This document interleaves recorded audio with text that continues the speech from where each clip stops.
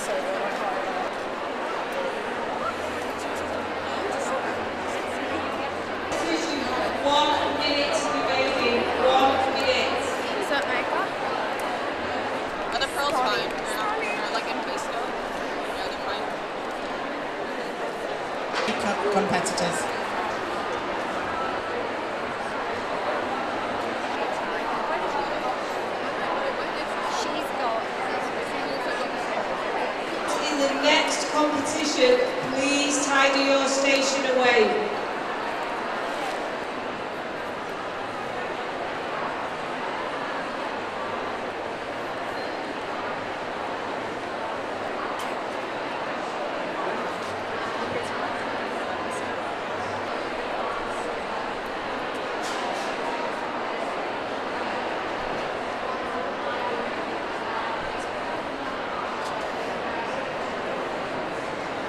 Like there's nothing residue on any eyebrows and things, dust them off, yeah? But I'm gonna get, get the impactful stuff in. It's the products that change the trends.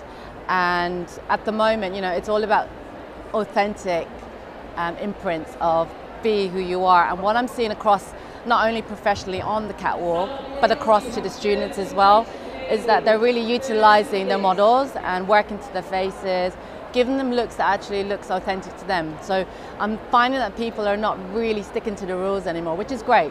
There's dots. That type of piece, but then there's anger at the back. But then it shows different colours, show like mean different emotions.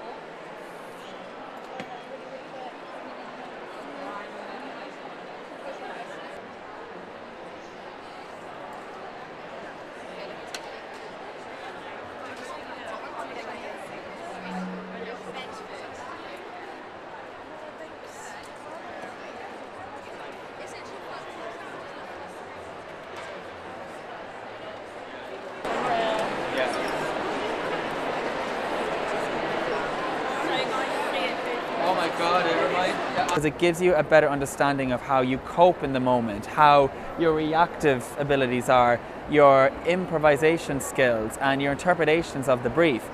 All that can do is just help you evolve and get better at your craft. And with that comes time. Put those two together, and you are bound to be on a progressive just trajectory.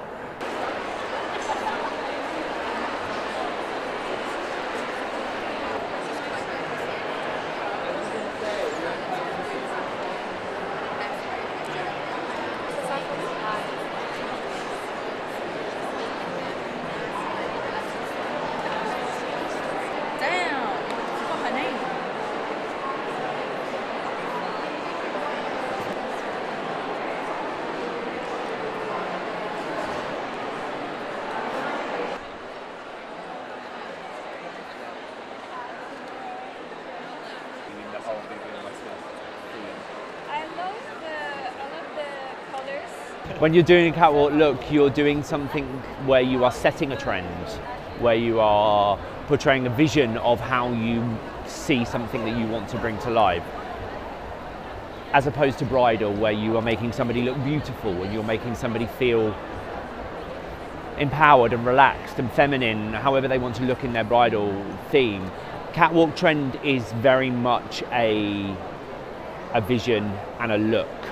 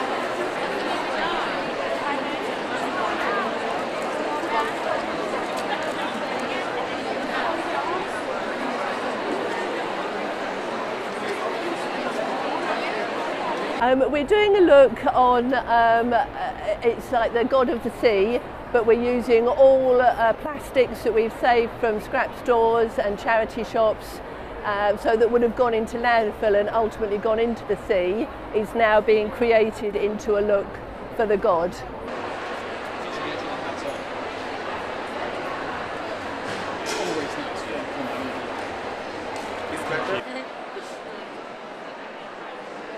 Super.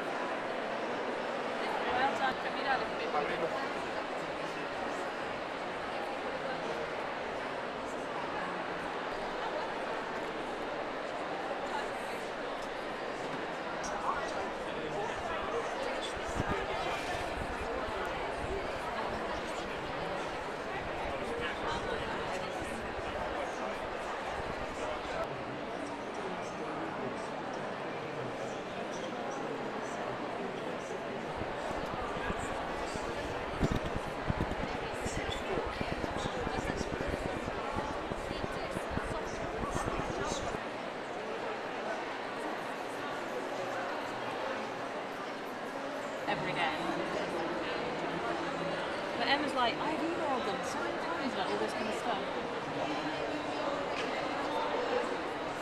You're kinder than I would have been.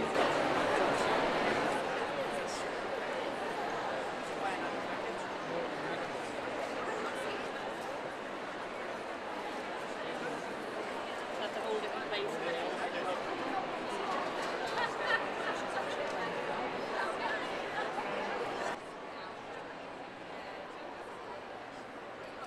So if this was a festival booking for a client, like elements. I've gone for earth. Um, I actually used to work at the Natural History Museum and I am just fascinated by fossils and I've just moved to Dorset which is famous for its ammonites which I'm right in the middle of and also water because I grew up on the coast in the Highlands of Scotland and in the Caribbean so they're two of my favourite elements and that's just what inspired me today.